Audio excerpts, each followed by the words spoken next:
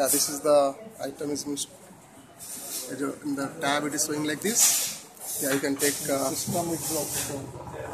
items. That is 62 gram. Weight is been taken out. 62 grams. And from here from here we can uh, select uh, because this is made for uh, other customer.